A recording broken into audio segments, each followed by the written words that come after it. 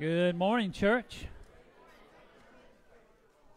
Aren't you glad to be in the Lord's house this morning? Amen. Would you stand with us as we turn everything we have towards our Heavenly Father this morning? Two, three, four. Angels we have heard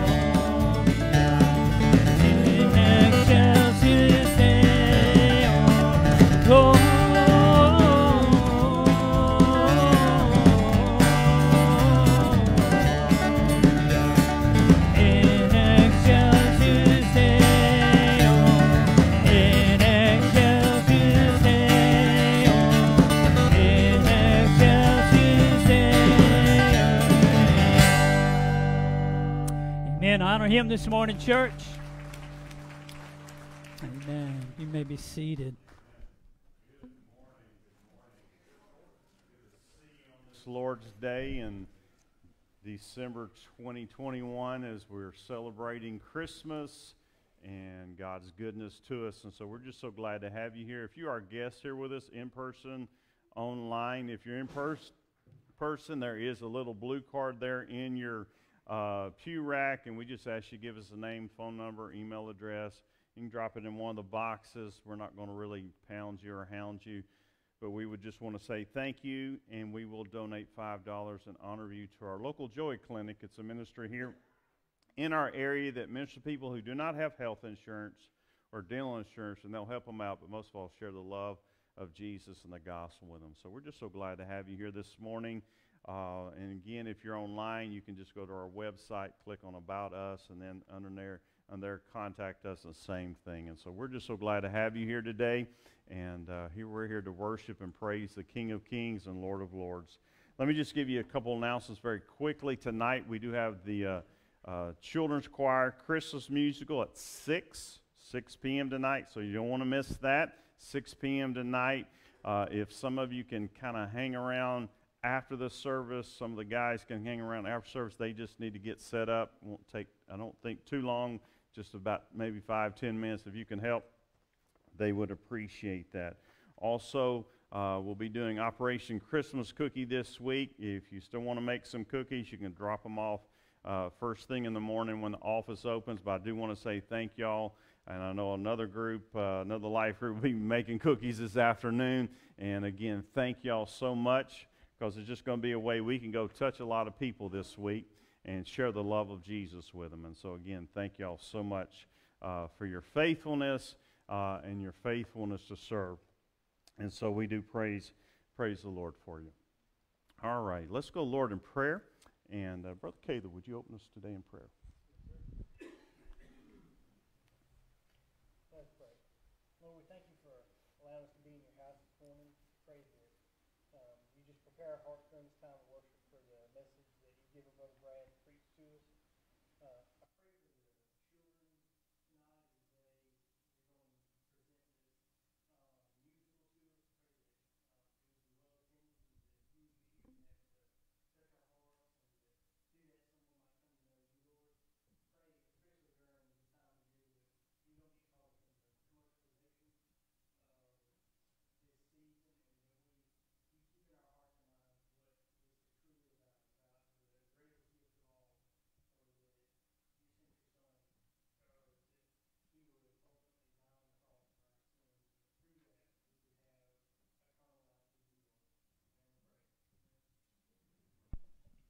Amen.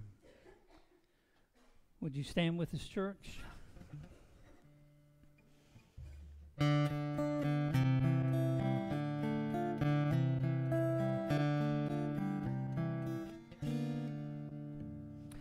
One small child in a land of a thousand, one small dream of a Savior too.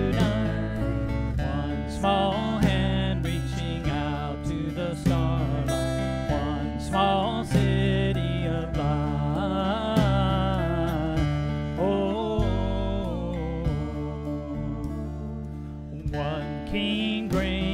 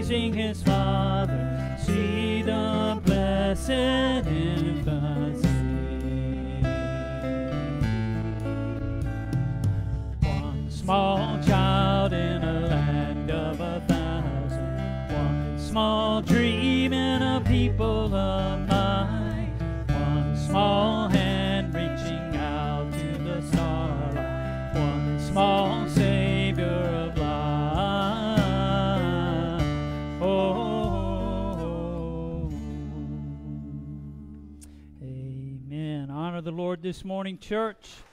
Honor him. Amen.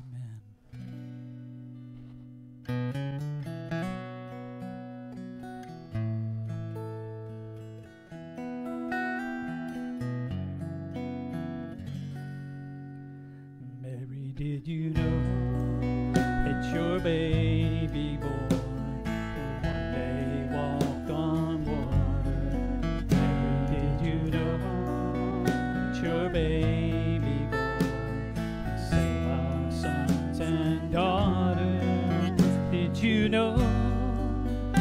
Gambem!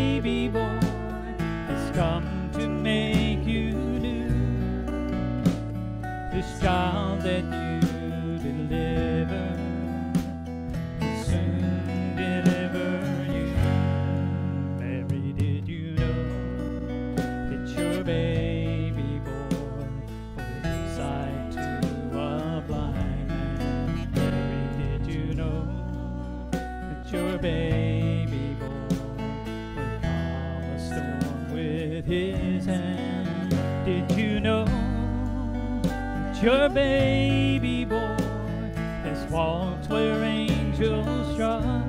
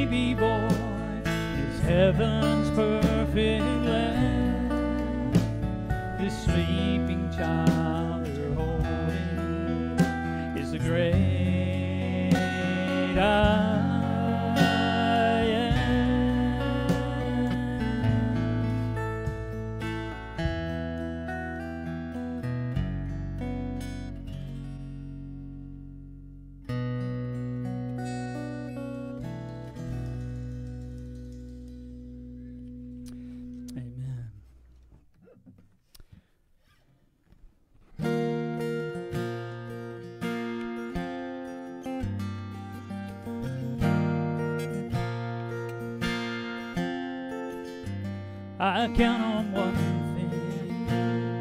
The same God that never fails will not fail me now. You won't fail me now in the waiting. The same God who's never late is working on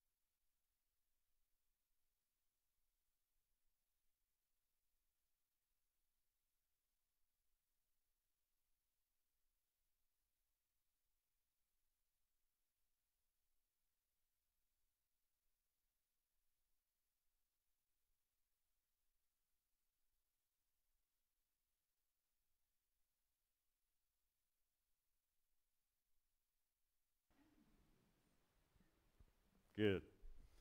Uh, sorry about that. Forgot I turned it off. Now back on. Uh, so, back up for those on uh, on the internet. But basically, Larry King, like I said, they asked him one question: If you can interview anybody across history, he said, "Who would you interview?" He said, "Jesus Christ." And he said, "I would like to ask him if he was indeed virgin born, because the answer to that would change all of history." And as we talked about last week, it does change all of history. The virgin birth is the hinge point of everything. Now, what does the Christian church believe? Let me just give you a couple of creeds. The Nicene Creed, which was adopted by the Council of Nicaea in AD 325, it was a long time ago. Not long after uh, the New Testament church begun, said this I believe in one God, the Father Almighty, maker of heaven and earth, and of all things visible and invisible, and in one Lord Jesus Christ, who for our salvation came down from heaven and was incarnate by the Holy Spirit of the Virgin Mary and was made man. The Augsburg Confession, which was the first Protestant confession in 1530, said, Of the Son of God, also they teach that the Word, that is the Son of God, did assume the human nature in the womb of the Blessed Virgin Mary. Southern Baptists, in their Baptist Faith and Message 2000, says Christ, the eternal Son of God. In his incarnation as Christ Jesus, as Jesus Christ, he was conceived uh, of the Holy Spirit and born of the Virgin Mary. Jesus perfectly revealed and did the will of God, taking upon himself human nature and with its demands and necessities and identifying himself completely with mankind, yet without sin. And so today I want to talk to you about the focus on the incarnation. And the incarnation means God came in the flesh, God became man. See, that's the foundation of Christianity. It's the foundation of Christmas. If God did not come in the flesh, hey, no reason to be here. And so today I want to talk to you about focus on the incarnation. We're going to be in a couple texts out of Matthew and Luke. Just to remind you, last week we talked about how the virgin birth is the hinge point of all history. It changes the calendar, it changes everything for life. Today, the take home truth is this Jesus was born at a definite time in history and at a definite place on earth. He was born at a definite time in history and at a definite place on earth. And so we're going to be in Matthew 2, we're going to be in Luke 2, and we're going to look at these two accounts of the birth of Jesus. Let's look at Matthew's first, and then we'll read Luke's account also. He says, After Jesus was born in Bethlehem of Judea, in the days of King Herod, wise men from the east arrived in Jerusalem, saying, Where is he who has been born? King of the Jews. For we saw his star at its rising and have come to worship him. When King Herod heard this, he was deeply disturbed, and all Jerusalem with him. So he assembled all the chief priests and scribes of the people and asked them where the Christ would be born. In Bethlehem of Judea, they told him, because this is what was written by the prophet.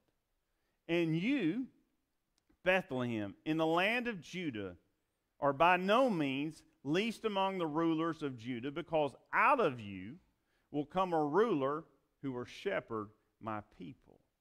Now, Luke, let's move to Luke's account, chapter 2, verses 1, and we're going to look at several verses, but let's look at verse 7 verse. It says, In those days, days a decree went out from Caesar Augustus that the whole empire should be registered.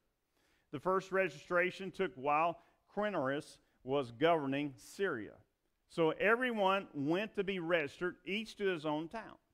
Joseph also went up from the town of Nazareth in Galilee to Judea to the city of David, which is called Bethlehem, because he was of the house and family line of David, to be registered along with Mary, who was engaged to him and was pregnant. While they were there, the time came for her to give birth. And she gave birth to her firstborn son, and she wrapped him tightly in cloth and laid him in a manger because there was no guest room available for them. And so we see this, this nativity scene. We see this birthplace. We see God coming in the flesh. We see the birth of Jesus here. And the question you got to ask yourself is do you really believe this? I mean, again, I think it goes back. Everything hinges on. If you don't believe in the virgin birth, there's no reason to believe anything else. Because, I mean, this is key. Everything hinges on this. So, Dad, I want to give you four evidences that focus on the incarnation, how God became flesh, and how he fulfilled Old Testament prophecy here. We're going to look at some more Old Testament prophecy, how he fulfilled that in him coming. Number one is this Jesus fulfills the prophecy of the Bethlehem. He fulfills the prophecy. Because again, Herod is asking, where's the Messiah going to be born? And they told him, In Bethlehem of Judea. Now, how would have they known that? Well, Micah prophesied it 700 years before then. And so look at what Micah 5 2 says. It says, Bethlehem, Ephrathah, you are small among the clans of Judah. One will come from you to be ruler over Israel for me. His origins are from antiquity and from the ancient times, from the very beginning. And so Micah here prophesies hey, hey, the Messiah is going to come. He's going to come, the son of David. And all this was planned before the foundation of the world. Now, what's amazing is you're like, hey, do people in the Old Testament, the, do they really believe that? Yeah, they believed the Messiah was coming and going to be born in Bethlehem. If you study rabbinic Jewish commentators, they believe this text refers to the Messiah that is coming. Now, what is that Bethlehem Ephrathah? Basically means Bethlehem, the land of Judah. Basically, they were saying that to, to distinguish it from the Bethlehem that was in Galilee. You know, many times we might put a little something on the end of a city or something, or, or we say there's more than one Dublin, right? So we would say Dublin, Georgia. So you would know where you're talking about. Same here in this text is what's going on. And so Israel had been waiting on this Messiah. This had been prophesied. He prophesied this 700 years before. And so Joseph and Mary come to Bethlehem, to the city of Bethlehem. Now, why couldn't they just register in Nazareth? Some people might ask that question. Why, why didn't they just couldn't they just register in Nazareth? Well, he had to come to Bethlehem because he was in David's lineage, but his ancestral rights were there. And apparently, he probably had some property rights. Wherever you had ancestral property rights, you had to go register at that time. And so Joseph comes through the line of David. Now, just to kind of give you an indication how far they came, Bethlehem was five miles from Jerusalem. But Nazareth was an 85 mile journey from Bethlehem. So here's Joseph he did not have an airplane. He didn't have Uber. He didn't have his own vehicle. Mary's pregnant. And they made an 85 mile journey. Now, you get the picture. You ladies would not want to make an 85 mile journey pregnant. I don't care what part of the pregnancy. But God's hand is on this. God brings them there. Why? Inter- interesting fact here Bethlehem is known as what? Means house of bread. And what the amazing thing that's going to happen is the bread of life was born in the house of bread. Jesus is the bread of life, and he is born in the house of bread. See, Jesus was born at the appropriate time, at a designated place. Galatians 4 4 says he, he came at the fulfillment of time at the completed time, he came. Why was this time so perfect? Well, number one, there was worldwide peace, which was known as Pax Romana. Do we have worldwide peace now? Shoot, we're not anywhere close to that. At that time, they had an excellent road system that people could get around. There was one main language, Koinonia Greek, so the gospel spread through it. See, the truth is, Jesus came at this time because this is a time that they had set up in the very beginning of time. And see, God is an on time God. He orchestrated all these events to happen so that Jesus could be born in Bethlehem that would fulfill the prophecy of Micah. But you got to understand, Jesus existed long before the manger.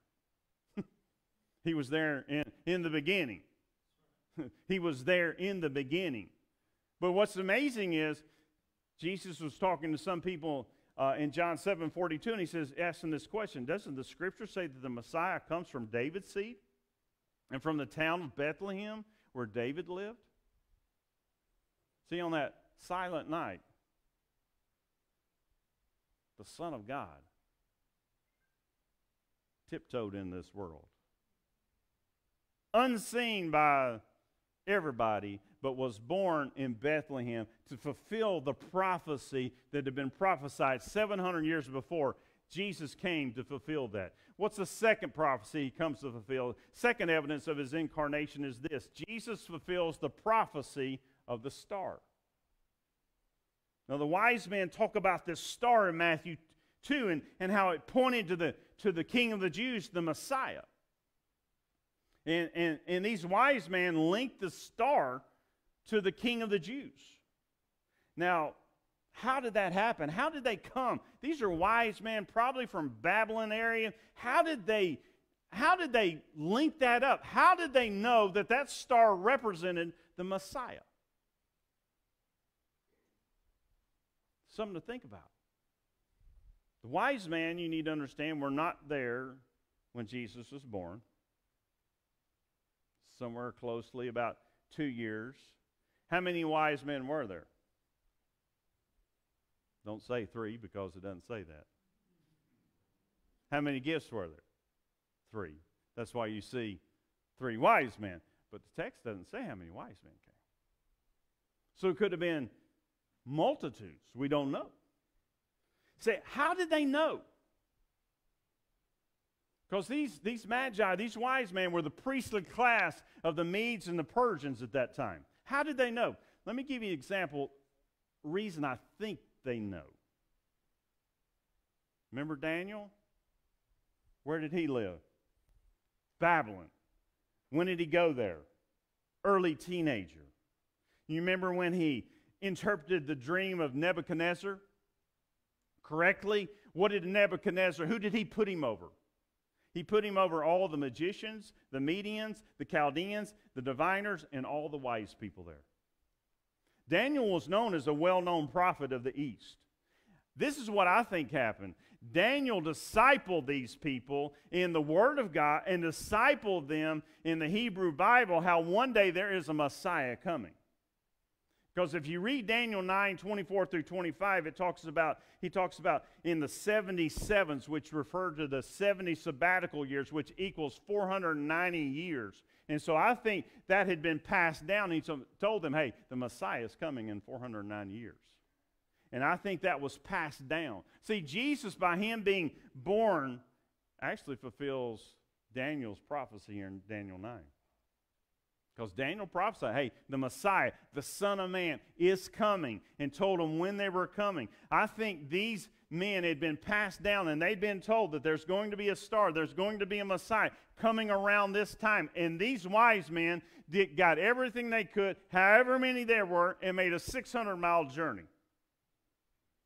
to see. We want to see who this King of the Jews is. This one that's been prophesied, who's the Messiah, the great deliverer, the one who's going to bring salvation. We want to we want to see that one when the Jewish people, the Jewish leaders, wouldn't even travel six miles to go see him. But did you notice what they said here? They referred to it as his star. Referring to Jesus, that's, that's his star. Now, where did that maybe come from?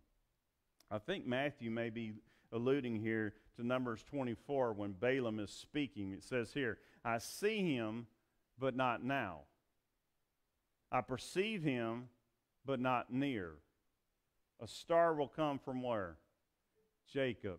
And a scepter will arise from Israel, and he will smash the forehead of Moab and strike down all the Shethites. I really do think here, Balaam, who was actually an astrologer of, from Pethor, which actually was a city in the area which would become Babylon years down the road, I think he's saying, hey, hey, there's going to be a star coming. And he's going to come from Jacob, and you need to wake up and you need to see him. Even astronomers at that time, and even astronomers after that, you can read German astronomers and others, they really do think, how did this happen? Some of them think a couple of planets or two or three planets came into constellation just perfectly to form that star? I don't know, but I think God put the star there and He can put it whatever way He wants to. I mean, He could align Jupiter and Saturn up just perfectly and made it to where the star was could be that. But these wise men knew that, hey, there was going to be a supernatural light, and it was going to point to the Messiah. Yes, his birth is something amazing. That star was something amazing, and it pointed to Jesus. But it fulfills, I think, the prophecy that we see in the Old Testament. Let me give you a third evidence of his incarnation. Jesus fulfills the prophecy of being the King of Jews. He fulfills the prophecy of being the King of Jews. Now, if you go back to verse 6 here in Matthew 2, he says, You, Bethlehem, in the land of Judah, are, are by no means least among the rulers of Judah. And the last part he says here, because out of you will come a ruler who will shepherd my people Israel. Now, that part, Matthew pulls from 2 Samuel 5 2. And look at what it says. And this is the Lord speaking to David. He says, Even while was, Saul was king over you, you were the one who led us out to battle and brought us back. But look at this. The Lord also said to you, You will shepherd my people Israel, and you will be ruler over Israel. I think Matthew adds this language here to show that, hey, Jesus is the one fulfilling the promises that were given to David that say, hey, someone is going to be in your line king forever. And who's that going to be? Jesus. He was the one born in Bethlehem. He is the Messiah. He's the one that came to fulfill all the promises. He's going to shepherd people just like David did. See, Jesus came to be our king. He came to be our shepherd. He came to fulfill the covenant. Does everybody, does everybody believe in him back then? No. Does everybody believe in today? No. But listen to what John says in chapter 1, verse 10 through 12. He says, He was in the world, and the world was created through him. And yet the world did not recognize him. And he came to his own, and his own people did not receive him. He came to his own people. Most of them didn't even receive him. But praise the Lord for verse 12. He says, But to all who did receive him, he gave them the right to be the children of God to those who believe in his name. See, Jesus came to be king and ruler. He is King of kings. He is Lord of lords. He is ruler. He is Lord. He is God. Hmm. And he came to fulfill the prophecy of the Old Testament. And he came to be that for you and I. He came to shepherd our lives if you and I will give our lives to him. And so he fulfills this prophecy. He fulfills the prophecy of Bethlehem. He fulfills the prophecy of the star. I think he fulfills this prophecy here saying, Man, I'm going to be shepherd and ruler over my people. I'm going to be shepherd and ruler over Israel. But number four, the fourth evidence of his incarnation is this Jesus fulfills the prophecy of being the Messiah. He fulfills the prophecy of being the Messiah. Now let's go back to Luke chapter 2 and we'll finish up this. Well, we're going to finish most of it up. We'll look at the last few verses of Luke 2 here.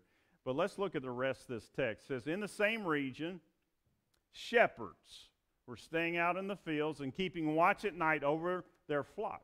Then what? an angel of the Lord stood before them, and the glory of the Lord shone around and they were terrified. But the angel said to them, Don't be afraid. For look, I proclaim to you good news of great joy that will be for all people. Today, in the city of David, a Savior was born for you, who was Messiah, the Lord. This will be the sign for you. You will find a baby wrapped tightly in cloth, lying in a manger. And suddenly there was a multitude of the heavenly hosts with the angel praising God and saying, Glory to God in the highest heaven, and peace on earth to people he favors. Now, who gets the word here? Shepherds.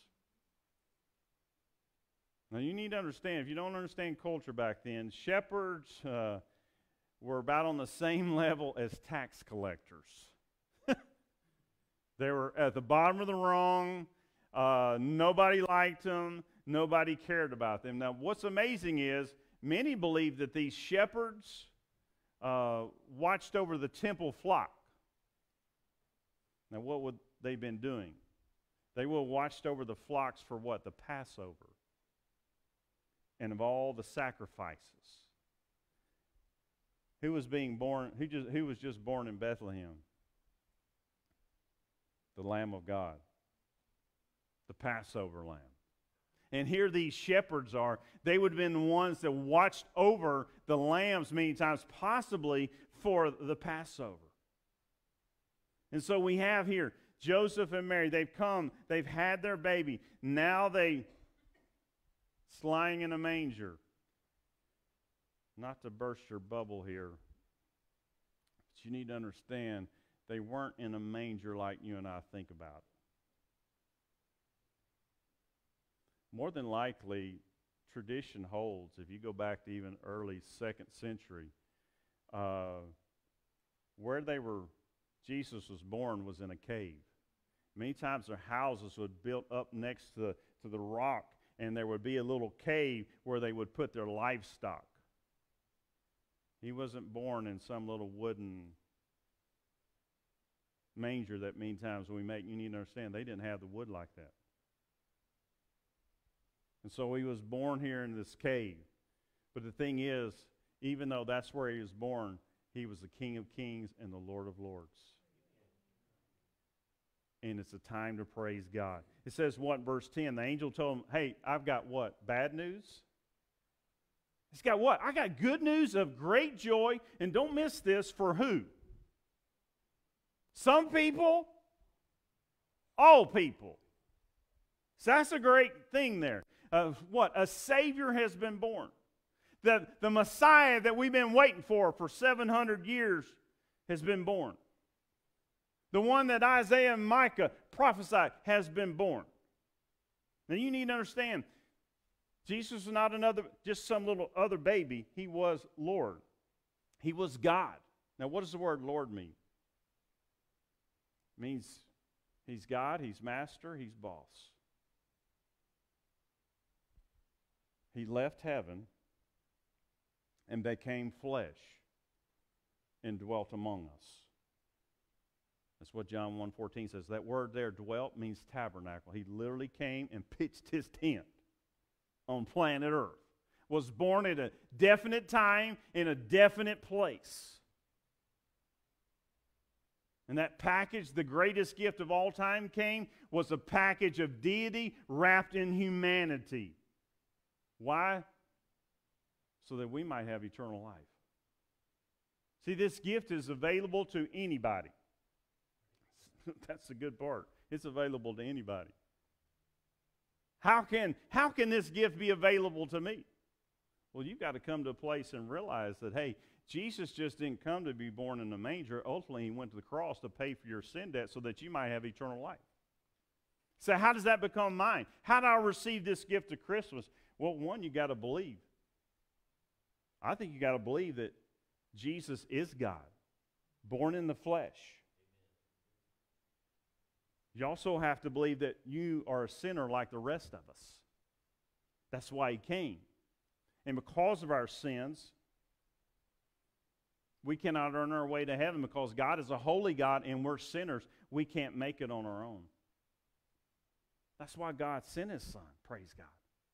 Amen. So we don't have to live in our sins. So, how does that become mine? You've got to come to a place where you turn from your sins and say, Lord, I've been going the wrong way. I've been thinking it's all about me.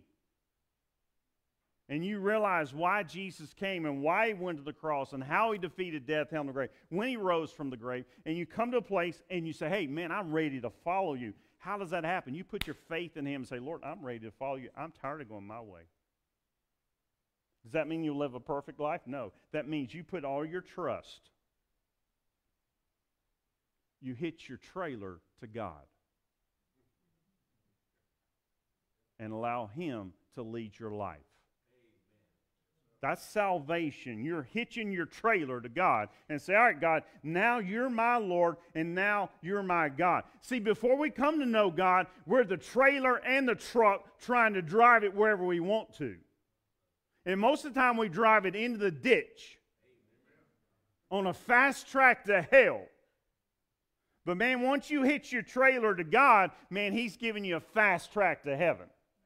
And now you have the joy of God, you have the, His peace, you have His mercy. See, that's what Christmas is about. He is the fulfillment of the gospel. He's the long awaited Messiah that was promised in Genesis 3 that came here in Matthew and Luke. Those in the Old Testament were looking to him. You and I look back to him. He is our only hope today. He is the only hope for our country. He's the only hope for our world. That's why we got to understand everything hinges on this. As C.S. Lewis said, the Son of God became a man that we might become what? Sons of God and daughters. Why? So that we might be his sons and daughters, that we might live for him. That we might just not get wrapped up in just the commercialism, as Caleb prayed, that we might just get wrapped up in all the glitter. May we realize why God put us on earth so that we might come to know Him and live for Him. And may we learn from these shepherds. I want to give you three fast points of application here that just pull from these, these shepherds as we look at this Christmas story and his incarnation. Let's read the rest here 15 through 18 in Luke 2.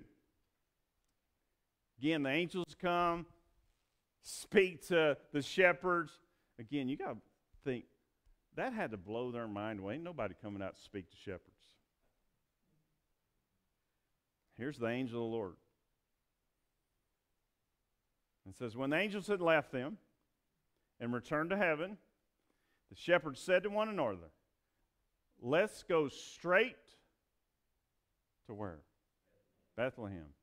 And see what has happened, which the Lord has made known to us. They hurried off and found both Mary and Joseph and the baby who was lying in the manger. After seeing them, they reported the message that they were told about this child. And all who heard it were amazed at what the shepherds said to them. Let me give you three essential applications I see out of these shepherds that we need to learn. Number one, obey the Word of God. Now, did you notice? Said the angel spoke and then left. They didn't guide them. They didn't give them GPS coordinates in their Waze app.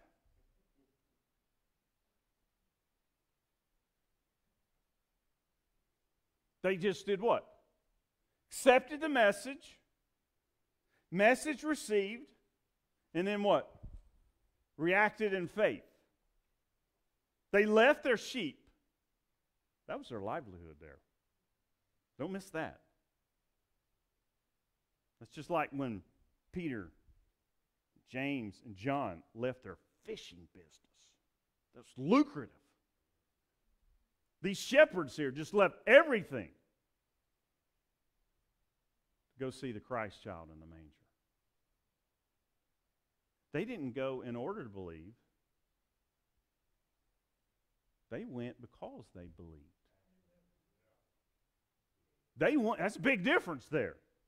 They didn't go in order to believe. They already believed the word. That's faith. They believed it before even seeing it. That is faith and they felt compelled to act upon it. That's obedience. See, many times God gives us the word and then we want to argue with God. Are you sure, God? Let me throw out 20 fleas like Gideon and try to make sure this is what you say to do. Now, many times God already gives us the word. We just are to act upon it. But many times we don't act upon it. And we miss it.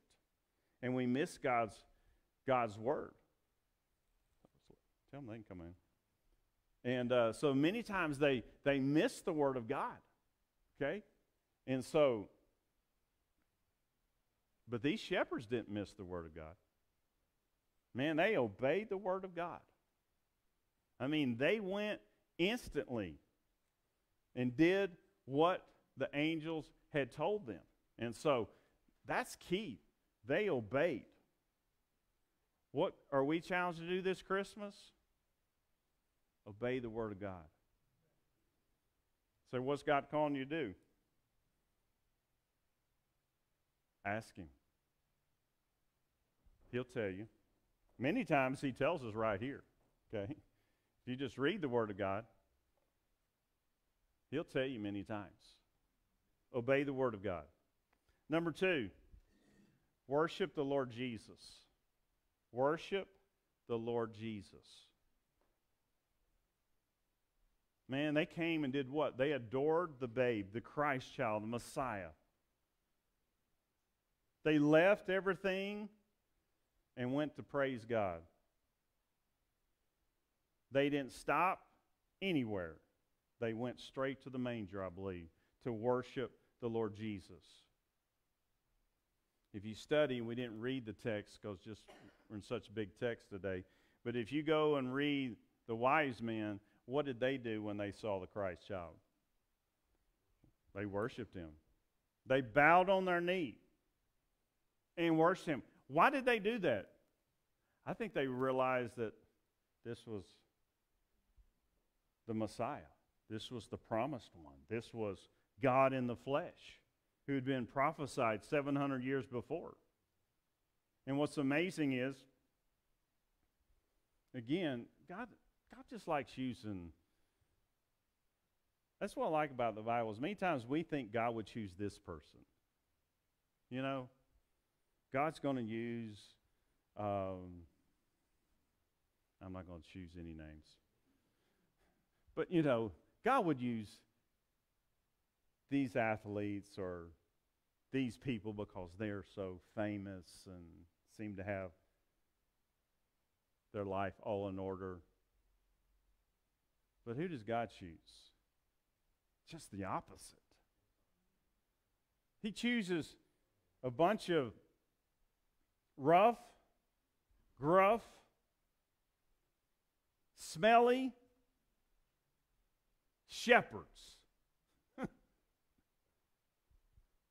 to be his choir, to come praise the Christ child. What are we to do this Christmas? Worship the Lord.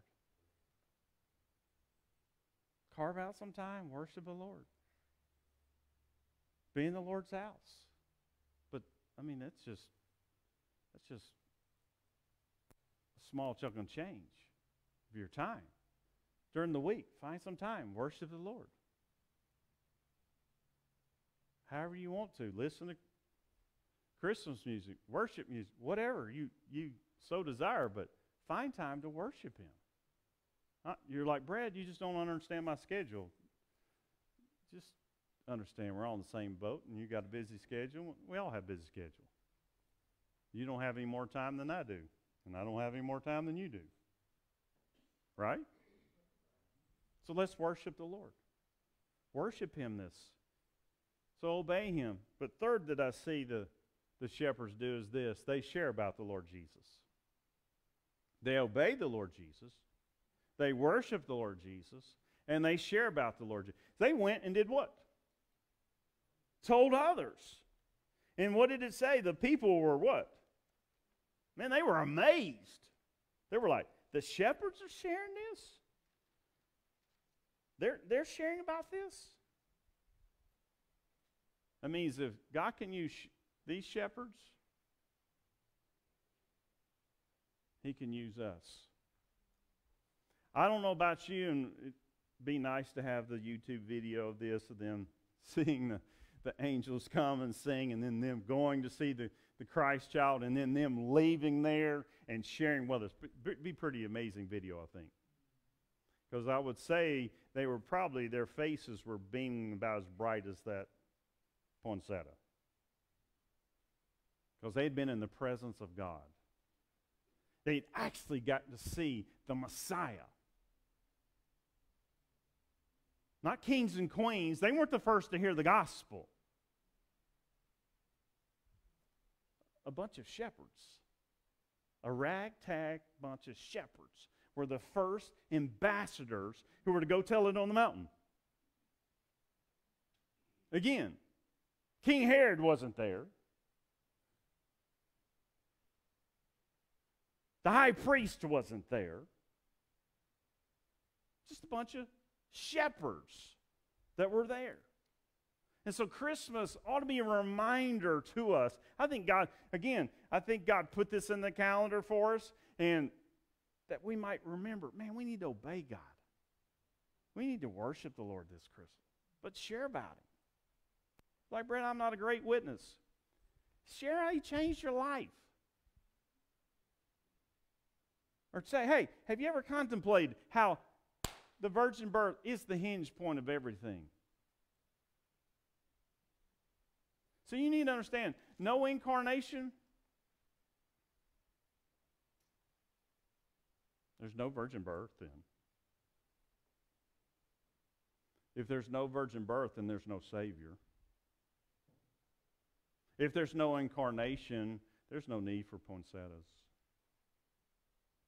If there's no incarnation, no virgin birth, there's no need for Christmas wreaths. There's no need for Christmas lights. There's no need for Christmas cookies. So I can't fathom it all. Well, Martin Luther said the mystery of the humanity of Christ, that he sunk himself into our flesh, is beyond all human understanding. That's where your faith comes in. You have to believe that God sent his son. He created us all in his own image so that we might be able to come to know him. Two verses of poem. Mary had the little lamb said this. Mary had the little lamb who lived before his birth. Self existent Son of God. From heaven he came to earth. That's incarnation. Mary had the little lamb in yonder stall. See him. Virgin born, Son of God, to save us from the fall. That's why Jesus came. That's why Jesus was born at a definite time and a definite place. Why? To fulfill all the 351 prophecies of the Old Testament.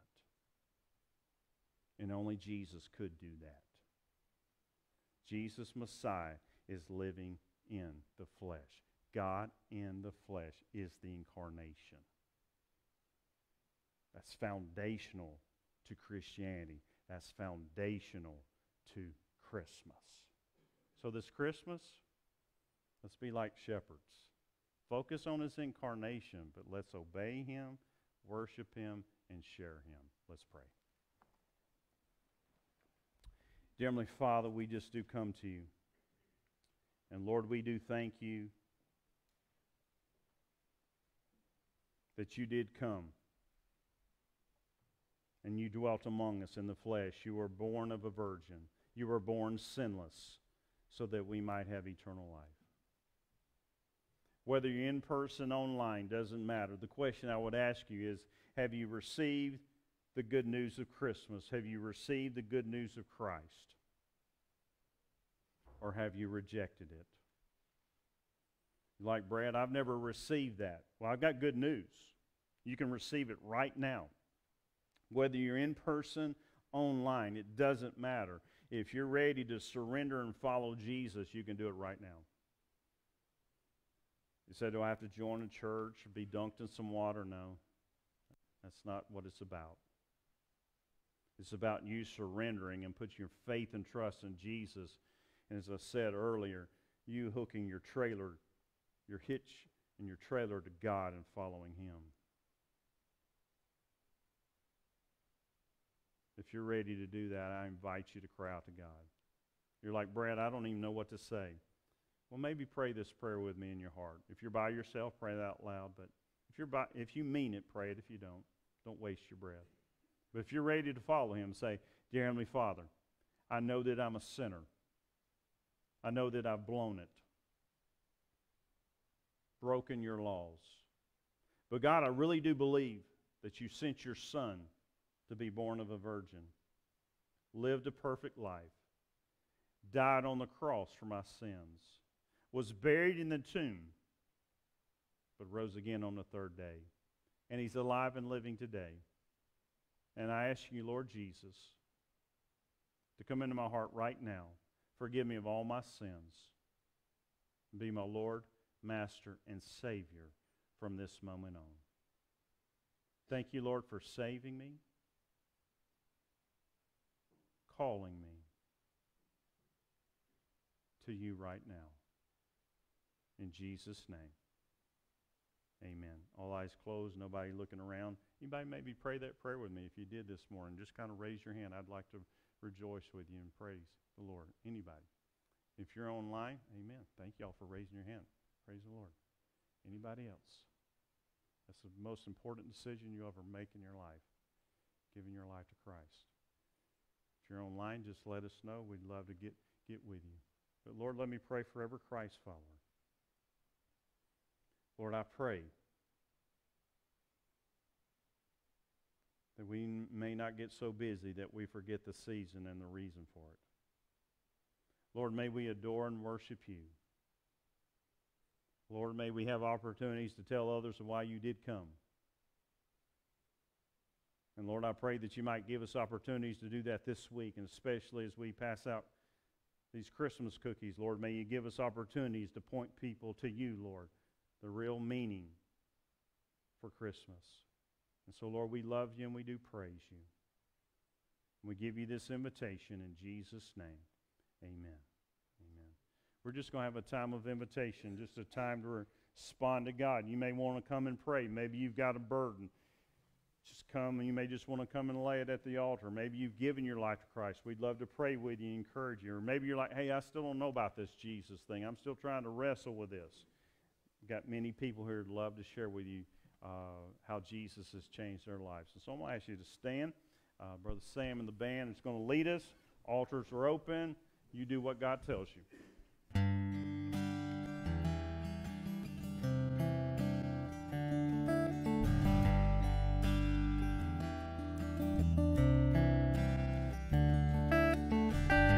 Amazing grace, how sweet the sound. Amazing love, now flowing down from hands and feet that were nailed to the tree. His grace flows down and covers me. Amazing grace how sweet the sound, amazing love, now flowing from hands and feet that were nailed to the tree. As grace flows down and covers me, it covers me.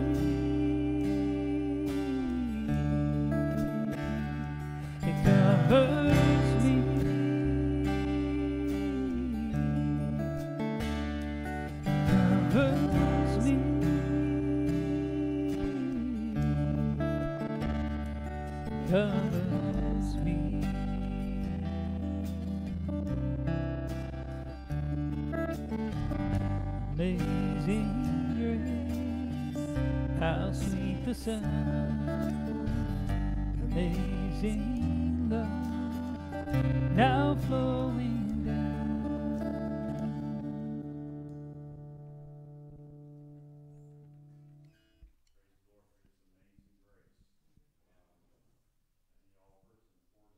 lives the minute we trust Him and give our lives to Him.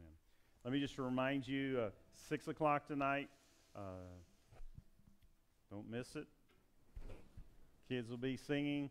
Uh, they'll be doing their Christmas music. You're say, well, it's just a Christmas musical, just some kids singing. Well, if that's all you trust God for, then that'll be about all you get. But I have seen people get saved at children's Christmas musicals. I've seen a 72 year old faithful church member get saved. So come pray that God would use those kids. Speak into people's lives. Invite people. And you may have already invited people. You may already have family members that'll come here tonight. And you know that's the only way they're going to come.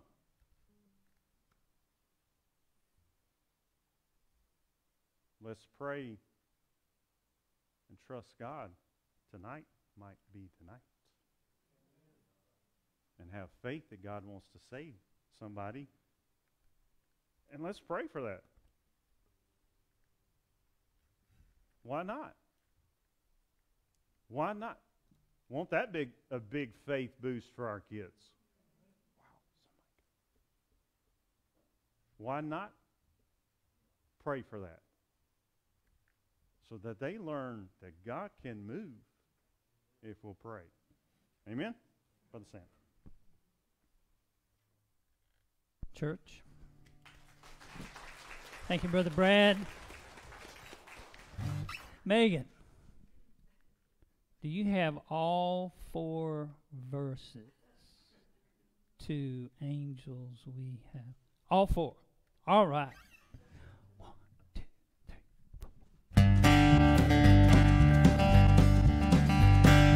Angels we have